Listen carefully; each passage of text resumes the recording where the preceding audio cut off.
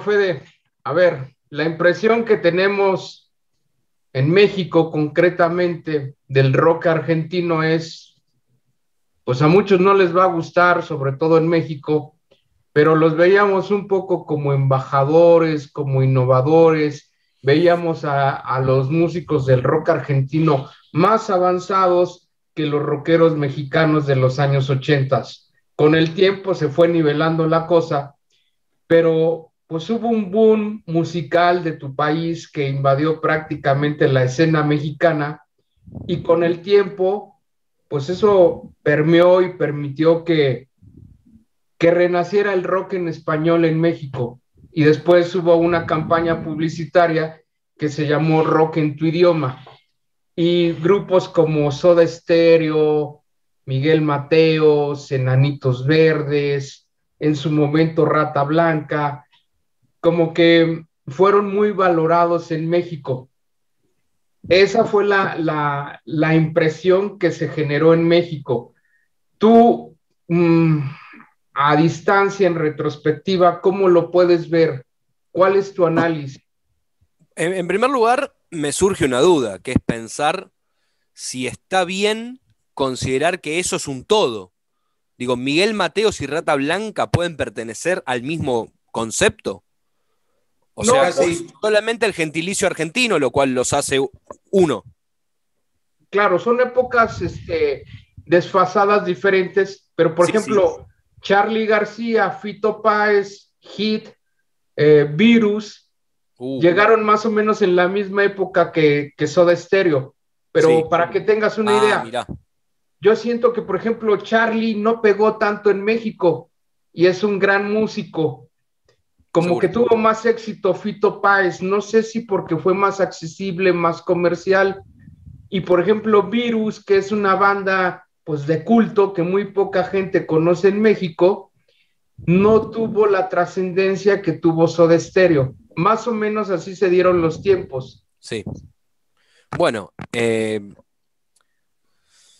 a ver, Argentina con el rock tiene algunos elementos o algunos conceptos que son bastante claros y fáciles de, encontrar cuando hablamos de rock argentino. En primer lugar, hay una gran, gran, gran mayoría de público y músicos que están convencidos que el rock argentino es superior al, al resto del rock latinoamericano. Particularmente yo no, no ascribo a esa idea, en, en especial con Brasil. Digo, para mí Brasil es muy, a ver, habría que diferenciar Iberoamérica de Latinoamérica. ¿Sí? De acuerdo. Bien. Si, si, nos, si nos vamos a analizar a Iberoamérica, el rock argentino tuvo una, una llegada masiva al resto de los países que tal vez muchas bandas latinoamericanas o iberoamericanas no tuvieron en la Argentina. La realidad, como argentino, como consumidor de rock, acá en la Argentina han llegado bandas como La Ley, que es una banda chilena, Maná, mexicana, y, listo. Digo, no, no, no se consume rock colombiano, rock peruano, rock ecuatoriano. No ha llegado ese rock a la Argentina. Estoy hablando de al reconocimiento. Alguien podría decir, sí, yo soy fanático de una banda de Ecuador. Ok, sí. Digo, lo, lo mismo que con el país hermano Uruguay. Alguna banda que últimamente se puso de moda a mediados de los 2000 eh, no te va a gustar, y alguna banda de rock candombe que particularmente a mí nunca me gustó, pero que sí se puede reconocer la vela puerca, que sí se puede reconocer que han hecho estadios, y no más. No, no, no hay una. No es permeable el mercado argentino para con sus hermanos latinoamericanos. Pero sí busca, un poco ególatramente, penetrar a los mercados latinoamericanos que no deja entrar a la Argentina. Claro, y es que sabes qué impresión da que, por ejemplo, es un gran semillero de bandas de rock, porque lo mismo pueden tener una banda hard rock, sí, como una banda de pop, una banda de ska. O sea, hay muchos estilos en Argentina que han tenido mucho éxito. Por ejemplo, fabulosos Cadillacs basados en el ska pues fue un fenómeno social en México. A mucha gente no le gusta, pero a otras sí. Pero, por ejemplo, ¿qué te diré? Mi este, vecino Vicentico, decís, te referís a mi vecino. No, bueno. Ok, a tu vecino. o por ejemplo, Spinetta, un prócer del rock argentino, en México no pegó. Sí. Eh... Ok, ¿y en México qué pegó? Soda Stereo. Sí, claro. Grande y ese se le reconoce como, como el mejor referente. argentino. Soda es parte de lo que se llamó la generación yogur, si se quiere. A ver, el rock argentino yo creo que se puede diferenciar en el rock durante los años de dictadura, de gobiernos militares y después de los años de dictadura. Eh, lo que le pasa al rock argentino, en especial en esos primeros años de los 80, es que se vuelve un rock más liviano, sin tan, por supuesto que hay, y digo, este, yo no busco hablar de totalitarismo ni de, absolutos, ¿no? Estoy hablando de lo que más puede reconocer, Soda, Virus, Abuelo de la Nada, eh, que, es la banda original de Andrés Calamaro, gran fanático de Kiss, Andrés. Eh, suelo tener esa subjetividad de que el fanático de Kiss me cae mejor que el no fanático de Kiss. Eh, sé que está mal en mi parte eso. Pero si te fijas, son bandas tal vez que no tenían ese costado social o ese intento contestatario que podían tener algunas bandas Box Day, Manal en los 70. Ese rock más, si se quiere, liviano en su mensaje, es el que llega más fácil porque tiene mensajes más universales. El amor, la amistad, la soledad, eh, la justicia, son conceptos más globales mientras que un rock que apunta a un conflicto interno, bueno, va a ser más difícil de llegar a una sociedad que no está viviendo ese conflicto. Claro, y es que para ustedes influye mucho un, hecho histórico, ¿no? La guerra de las Malvinas. Sí, a ver, Malvinas eh, solamente para el rock es, es trascendental, porque aparece lo que se llamó la anglofobia en la Argentina, que es buscar de, todas formas, hasta de la censura y la prohibición, alejar la influencia inglesa. De ahí que Argentina tenga discos, vinilos, con, todo traducido, las letras, el nombre del disco. Eh, en las radios se prohíbe pasar música en inglés. Eh, eso inevitablemente genera un espacio para la difusión del rock en español y en especial del rock argentino. Sí. Posteriormente, ya en, el 82, aparece la banda emblemática del metal argentino, que es B8, que supongo que no es una banda que ha llegado mucho a, México, por lo menos. Lo, lo, que tiene B8 es que sus cuatro miembros, por lo menos los que graban el primer disco, de cada uno de sus miembros se desprende una banda que después fue trascendental. El baterista va a ser el baterista de Rata Blanca, el bajista es Ricardo Iorio, va a ser el bajista de Hermética, el guitarrista es Osvaldo Civil y va a fundar Orcas, y el, y el vocalista es el Beto Samarvide que va a fundar Logos. Entonces B8 no solo es la banda pionera del metal, una banda muy rudimentaria en sus grabaciones, con letras muy violentas, si se quiere, muy de choque, sino que de esa banda van a partir y distanciarse las otras bandas que van a ser escuela durante las generaciones venideras. Por eso es que el metal en la Argentina tiene algo muy fácil de encontrar, que es un padre fundador, que es B8. B8 y como contraparte Riff, que es la banda esta que mostraba yo acá en la revista Pelo, estos Riff, este es Papo y este Vitico.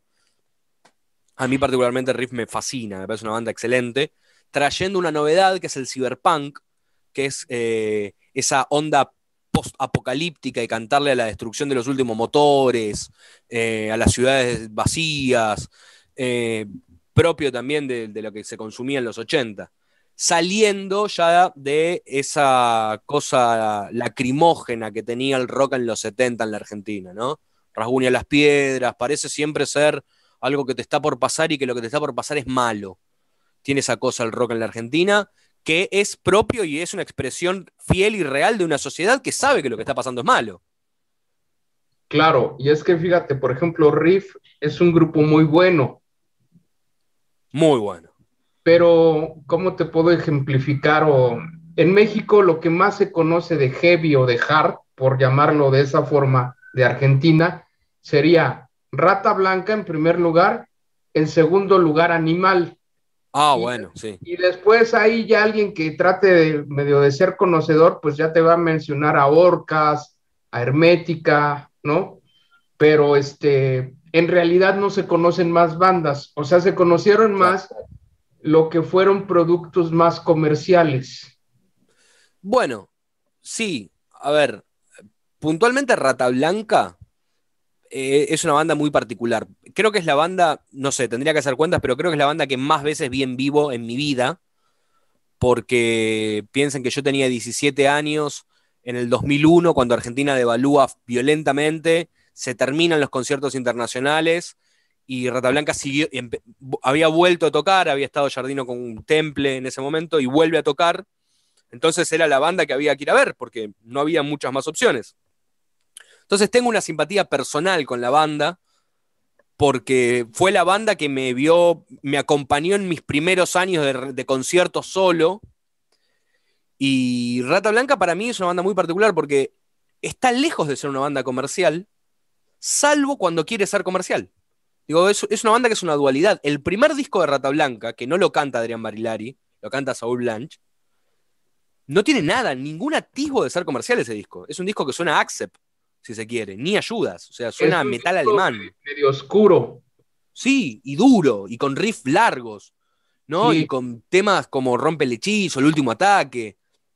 Después sí. tienen la lucidez de encontrar Mujer Amante y Leyenda del Aire del Mago y popularizar la banda. Le costó muchísimo, porque en la Argentina generalmente a los éxitos se los cuestiona si no encontrás en el camino del éxito la dignidad del metal. Digo, Rata Blanca, entre comillas, podríamos decir que se vende al ir a programas masivos, al ir a radios no, especi no especialistas, a tocar en lugares no propios del circuito del heavy metal.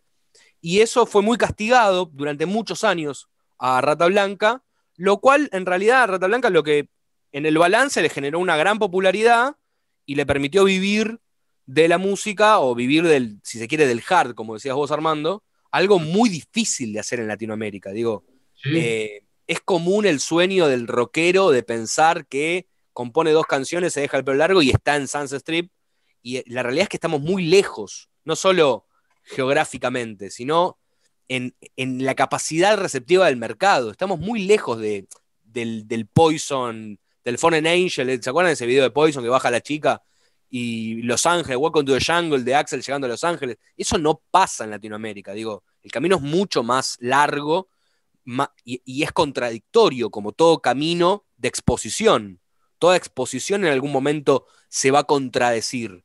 Y más si quien juzga esa contradicción es un ajeno a la banda. Prensa, público, otras bandas.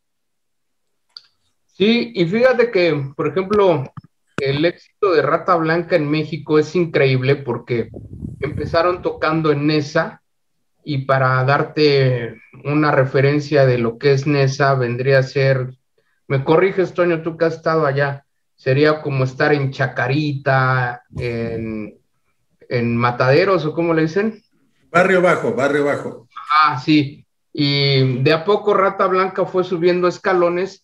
Son los barrios bajos, pero los barrios que mejor se come también, como acá. Sí, sí, sí.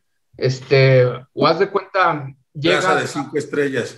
Claro. Hasta presentarse al, en el Teatro Metropolitan, que sería que el equivalente a un Teatro Rex, Toño. Tal vez. Allá en Luna Park es como el Auditorio Nacional. Mm. Sin sí. duda. Y este, y cuando tú estás en un concierto de Rata Blanca, es increíble que a la segunda canción toda la gente en México se sabe las canciones de Rata Blanca, de principio a fin. Y cuando tocan Mujer Amante, se cae el auditorio literalmente. Uh -huh. O sea, el público mexicano se le entrega a Rata Blanca, ¿no? Ok. Eh, digamos, más allá de que sea increíble la, la, la repercusión que tenga en el público, es creíble desde el talento de la banda. Para mí, Rata Blanca es una banda muy talentosa. Sí, a mí se me hacen músicos muy profesionales. Tienen muy dominado su estilo, ejecutan sí. bien, este, hacen arreglos, pues, no tan sencillos, sí le meten algo. El baterista, ¿cómo se llama? Fernando, Fernando Escarcela. se me hace muy bueno. Y pues qué decir de Walter Yardiano, él podría tener el nivel para tocar en una banda heavy o de hard de primer lugar. Fácilmente él podría tocar en un Wire Snake, así de sencillo. Sin lugar a duda, sin lugar a duda que Jardino está a la altura, sin lugar a duda. Y pues eh, Adrián Barilari tiene una voz muy peculiar, nadie se le asemeja a él. Yo, eh, una pequeña, yo era muy chico, no sé, tenía 16 años, y le mandé una carta a Barilari preguntándole si le gustaba Kiss, porque para mí era suficiente como para seguir escuchando o nunca más escuchar Rata Blanca. Y me respondió, aguante Kiss. Listo, dije, ya está, se me alinearon los planetas. Oye, tú conoces a Hugo Bistolfi, ¿no? El tecladista de Rata de muchos años. Sí, sí, claro. Creo que ya no está en Rata, ¿no? No, no, no, no. Eh, tiene Danilo Mosches, el, actual tecladista. Ajá, pero Bistolfi, este, pues, ¿qué te ha platicado? ¿Alguna anécdota? Algo así. lo, que, lo que pasa con Bistolfi es un muchacho de barrio, digo, todo, todo rata, son pibes de barrio, igual que la renga, no sé si la renga llegó a México. Sí llegó, pero no pegaron. Claro, bueno, ¿por qué? Porque me parece que la renga tiene una idiosincrasia en sus letras muy arraigada, es muy, hasta, no diría argentino, es muy porteño, ¿no? Cantan a La Perito está desierta, es imposible entender eso. La Perito es una avenida de Buenos Aires, digo, eh, yo no creo, no, lo sé, no lo sé. No creo que Rata Blanca haya compuesto, y más en el 88, que es su primer disco, 90, el segundo, pensando en llegar a México, a Colombia y a Perú. Pero sí que hay una universalidad o un concepto más abstracto, más mítico, si se quiere, de los en, el mensaje en la letra. La, la, banda emblemática del rock argentino emblemática. Eh, ahora me voy a poner en docente. A ver, ¿cuál es la banda emblemática del rock argentino para los mexicanos? Pues Soda Stereo, no hay más. Claro. Sí, es verdad que Soda Stereo, pero la banda más popular es Los Redonditos de Ricota. Ah, pero fíjate. No. Ahora en el. México. Claro, pero en México no. Claro. Pero déjame México soda, soda, soda. O sea, no, no hay otro. Es una maravilla. Eso de los redonditos de ricota, a mí me cuesta trabajo entenderlos porque se me hace un producto muy argentino. Claro. En México no, no, tuvieron este, presencia. Vaya, serán muy famosos allá, pero para, para la escena mexicana, pues no, no cuentan, no, nunca. Exacto. Claro. de por sí, el, nombre Soda Estéreo no te dice nada por sí solo. Soda Estéreo. O sea, ¿Qué significa? ¿Qué te transmite? Sí, te conozco la locura de Cerati ahí.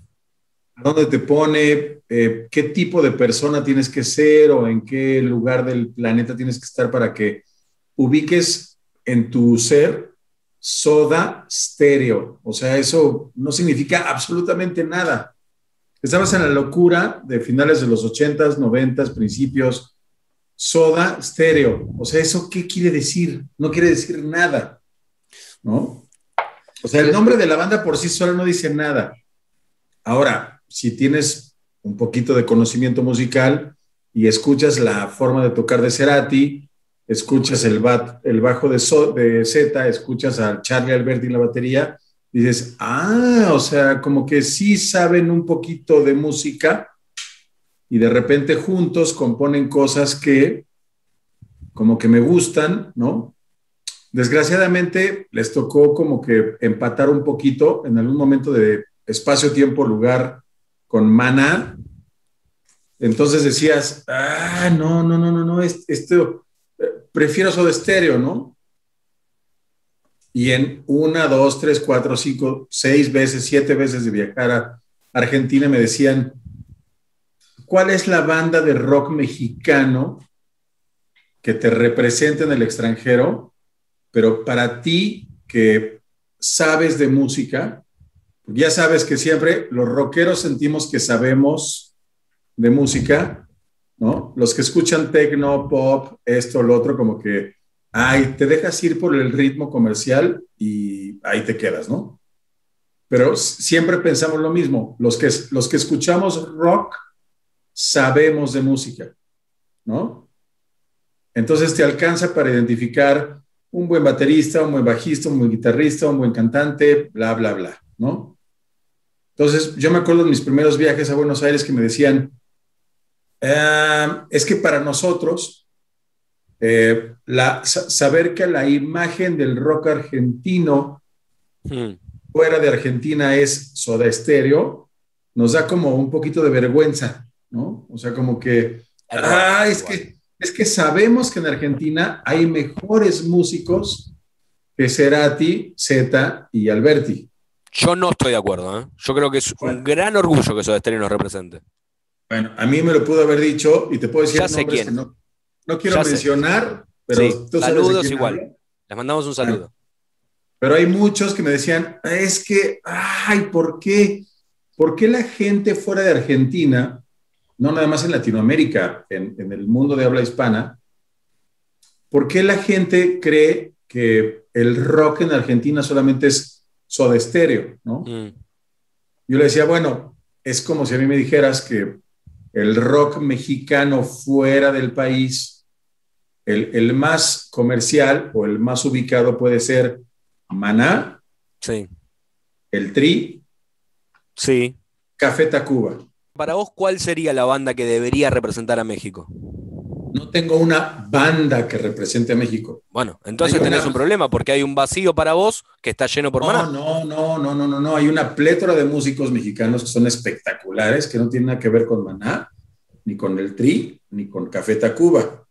Ahora, para ti, eh, Soda Stereo te llena, te, te satisface y dices, ah, ok, qué gusto me da que la gente ubique a Maná como el grupo de rock de México, del mismo modo que a mí me gusta que ubiquen a Soda Stereo como el grupo de rock. No, me parece que Soda Stereo es una banda que se preocupó por llegar a todos los al, más lejano rincón posible. Que hay bandas que no lo hicieron y que hay bandas que se conformaron con el público local, caso de los Redondos de Ricota, los Redonditos de Ricota, que es una banda muy, pero muy popular en la Argentina, pero extremadamente popular. Los Redonditos de Ricota y el Indio Solari tienen una particularidad en sus letras que es lo críptico del mensaje. Es muy difícil de entender de qué está hablando porque habla con una ironía y un lenguaje propio que se entendió de cierta forma. Em, también, volviendo a lo que hablábamos antes de, en donde el quisero ve la oportunidad para investigar, creo que un fan de Los Redondos ve la oportunidad para interpretar. Y eso lo, convierte en un fanático de Los Redondos y lo, le alimenta su fanatismo eso, decir, ¿qué quiso decir? No comparto, a mí no me gusta eso, pero está fantástico, digo, no respetar a Los Redondos siendo argentino sería un error. Pero no es que lo respetes, o sea, reconoces su intención y a lo mejor hasta aplaudes que lo hayan logrado. Sí, obvio pero no lo respetas, o sea, porque tampoco te gusta, tampoco es algo que, de lo que te sientes orgulloso. A ver, nunca, ah". nunca vi a Los Redondos en vivo y sí vi a Soda Stereo en vivo. Soda Stereo en vivo me pareció un show de nivel internacional. nunca vi Los Redondos en vivo. La realidad es que si los ves por DVD y en especial el Indio Solar y Solista, el, show es excelente, digo, la calidad musical. Bueno, de hecho el baterista del Indio Solar eh, era Martín Carrizo. Eh, es excelente. Seguro que el día que tengas la, eh, eh, no la oportunidad, bueno, cuando te toque ver a, Maná en vivo, vas a quedar fascinado y vas a reconocer que tienen una producción y un show. Sí, seguro. Sí, sí, estoy de acuerdo. El equipo eh, suena perfecto, iluminación, producción, pantallas, imágenes, ¿no? Lo que pasa es que no, hay un cierto nivel que no se puede sostener sin eso. Digo, Soda Stereo, vos nombraste tres músicos de Soda Stereo, pero Soda Stereo en vivo en los últimos años, o, cuando ya era Soda Stereo, no eran tres arriba del escenario. Digo, estaba Twitty González, DJ Fresco, Leo García, André Álvarez, había por lo menos cuatro músicos más sosteniendo musicalmente a la banda. Por supuesto que la cara visible seguía siendo Cerati, Zeta y Charlie, pero eh, los tipos se preocuparon porque el producto sea de calidad en todo momento y en, el mayor y el más recóndido rincón de Latinoamérica o Iberoamérica que puedan llegar.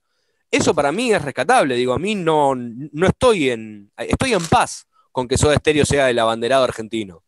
No, me gusta más Rata Blanca, sí, me gusta más Riff también, pero no, no, no me.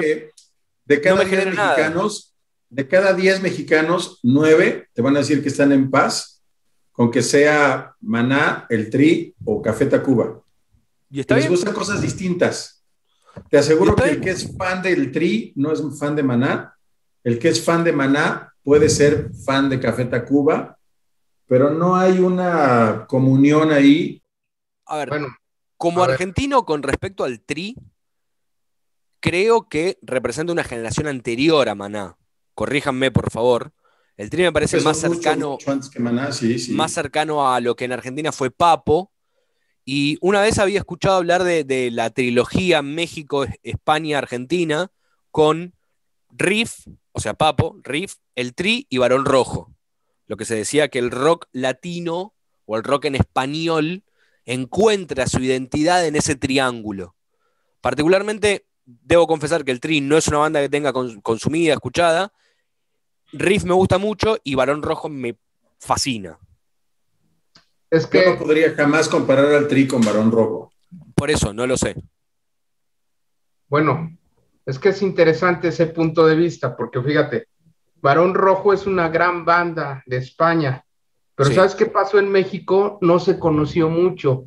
En México se conoce más a Ángeles del Infierno. Muy Es buena. otra banda que sigue muchísimo la gente aquí en México. Juan ¿No? Gallardo es el cantante. Exacto, No, ya, viven en vuelvo, México. vuelvo- perdón, vuelvo al mismo ejemplo. O sea, no puedes comparar al Tri jamás con Ángeles del Infierno. Ok, ok, no lo sé. O sea, es, es como comparar a Maná con Judas Priest. O sea, no hay comparación, no hay manera, no, no. Bueno, no, Maná no grabó con Julio Iglesias. No, mentira. Tampoco Judas. Claro. Sí. Y es que fíjate, bueno, regresando al punto de vista eh, que estaba expresando Toño. em, por ejemplo, una vez entrevistaron al guitarrista de Rata Blanca, a Walter, y le dijeron, oye, ¿hasta dónde quieres llegar? ¿A qué nivel quieres llegar? Y él dijo, yo quiero llegar al nivel de Maná, porque Claro. Maná se presenta en estadios, se presenta en grandes teatros, a ese nivel yo quiero llegar. A mí me llamó muchísimo la atención porque pensé lo mismo que Toño. Bueno, pues Maná es como que música muy desechable, ¿no? Por decirlo de alguna forma correcta, ¿no? Está bien. Digo, Pero el hecho de que Walter Yardiano los viera como referencia, pues me llamó muchísima la atención, ¿no? Porque yo dije, bueno, tú tienes una banda que puede tener más calidad musical y te estás comparando con ellos nada más por el poder de convocatoria, tal vez sea más complejidad musical. ¿de acuerdo? Bien, y con respecto a, a lo que Walter Jardino habla sobre Maná, me parece que habla pura y exclusivamente en la, en la masividad, en la llegada, en la convocatoria y, hay que decirlo, y en la recaudación. Pero en algún momento estuve sentado con el cantante de Maná y Sí. se lo dije directamente. Tus temas son desechables. Qué, qué- Eres- qué- qué agradable tu comentario. Eres un músico de dos pesos, no más. ¿Y sabes qué me contestó? Sí, pero soy millonario. Cállate, adiós, va. Mucho gusto, ahí nos vemos, ¿no? A ver, eh, tiene razón y no es algo indigno. Porque es su trabajo y el tipo genera cierta felicidad en gente que tal vez la necesite. Va, todos necesitamos felicidad, no, ningún ser humano está exento de eso. Lo que pasa es que cuando un Sí. músico o un grupo encuentra la fórmula del éxito, llega a su zona de confort y de ahí no se Claro. mueve. Ah, Les voy- bueno, eso es, les voy- les eso voy a es otro criterio. les voy a poner dos ejemplos. Por ejemplo, Metallica. Metallica, el, la actual Met- Metallica que conocemos, no es el que tocaba en la época de Master of Puppets, de Unjustice for All. Eh, Toño maneja la teoría de que en el disco negro se acabó Metallica. Mm. Y si tú escuchas hoy a Metallica, pues es un fenómeno social porque siguen arrasando con grandes conciertos, generan grandes concentraciones de gente en sus conciertos, siguen llenando, venden entradas, pero ya no es lo que conocimos cuando surgió la banda en sus primeros discos. ¿Por qué? Bueno, Porque ya, eh, cayeron en la zona de confort, ganaron dinero y para ellos eso es exitoso. O por ejemplo, una banda que a mí me encanta mucho, Iron Maiden, aunque soy mega fan de ellos. Yo pienso que después del Brave New World del 2000, todo me suena igual a Iron Maiden. O sea, muchos te van a decir, no, es que es evolución y no, no, no, señores, a ver, ya no es el estilo que conocimos en ochentas, ya no es esa frescura. Entonces, el músico cuando encuentra el éxito, irremediablemente cae en una zona de confort y de ahí no se quiere mover. No sé eh, si sí, podemos estar de acuerdo, podemos estar de acuerdo, pero me parece que tu análisis es correcto, aunque omite un elemento que es la, la edad propia del músico. Mirá que estamos hablando de gente que ya tiene más de 60 años, de acuerdo, no pueden tocar a la misma velocidad que tenían cuando tenían 23, 24 Y tienen otros intereses en la composición. Digo, la, rabia del metálico original, hoy un tipo que es millonario, que gastó fortunas en rehabilitarse de las adicciones, no va a componer igual, no, va no es la misma persona. Así es. me parece que nos puede pasar a todos. La, puntualmente en los ejemplos que vos estabas dando, creo que también hay no un aburguesamiento del, concepto de se vendieron del rock. Es lo que pueden ahora. Eso hay que considerarlo también.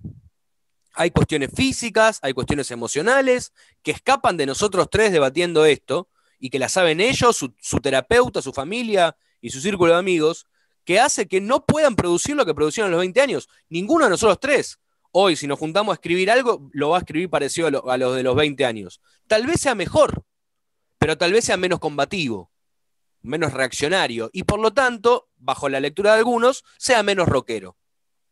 Sí, porque hay el paradigma de que lo que es comercial es malo. Claro. Para mí, viva, viva la producción del rock. Cuanto más rock nos den y nosotros podamos elegir me gusta, no me gusta, esto me gusta si estoy triste, esto me gusta si estoy contento, esto me gusta en una ruta, en un auto, y tengamos más opción, mejor es. Digo, bienvenido sea la música, bienvenido sea el arte en ese concepto. Eso para mí es el rock. Así es.